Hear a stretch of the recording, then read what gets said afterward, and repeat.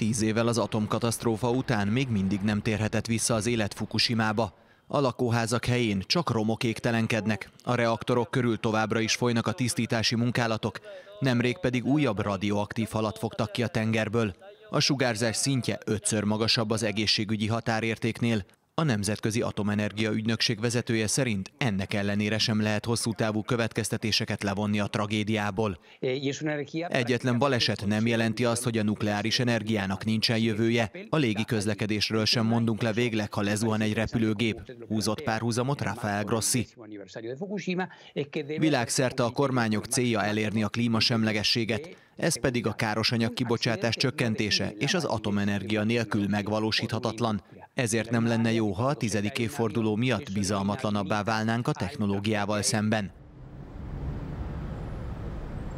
A környezetvédők szerint viszont nem kell atomkatasztrófa ahhoz, hogy a sugárzás a természetbe jusson, elég a radioaktív hulladékok nem megfelelő kezelése is. Ez sokkal inkább társadalmi és népszerűségi kérdés, mint technológiai.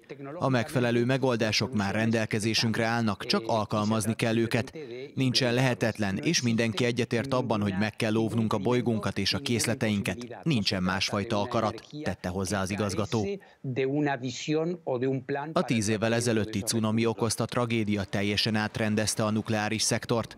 A szigorúbb, de főleg drágább óvintézkedések növelték az atomenergia árát, így a megújulók az utolsó pillanatban mégsem maradtak alul az árversenyben.